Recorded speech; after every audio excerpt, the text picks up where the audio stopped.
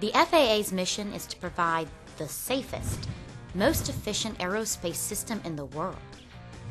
We do.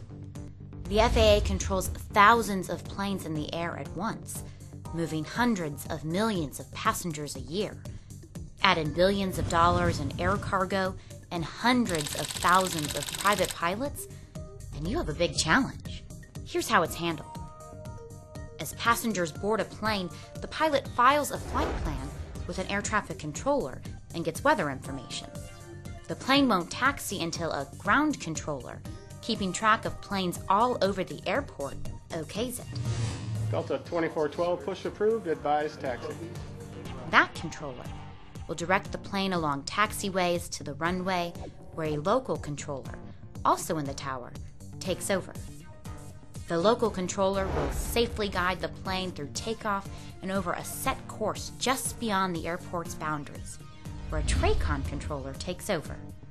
The Terminal Radar Approach Control, or TRACON, may be at an airport or at another location that manages the approach and departure for many airports. Unlike tower controllers, TRACON controllers work exclusively from radar and have no windows to see planes, which could be more than 100 miles away. These controllers keep planes separated within about 50 miles of an airport's airspace at altitudes up to 17,000 feet. Beyond that, en route controllers manage the flights. En route controllers work at one of 21 air route traffic control centers across the country. Each en route center is responsible for defined areas of airspace with multiple sectors inside each center's airspace.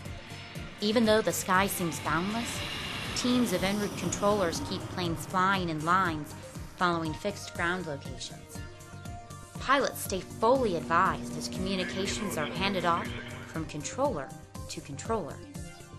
As tower, TRACON, and en route controllers focus on planes, management teams help controllers at the Air Traffic Control System Command Center see the big picture.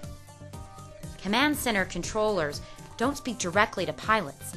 Instead, they coordinate nationally with airlines, fellow controllers, the military, and other users of the airspace to keep things moving safely and efficiently.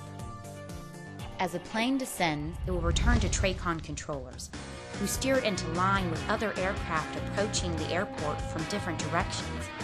The local tower controller takes over for the landing, and a ground controller guides the plane back to the gate. That's just a few of the more than 15,000 air traffic controllers keeping America's skies the safest and most efficient in the world.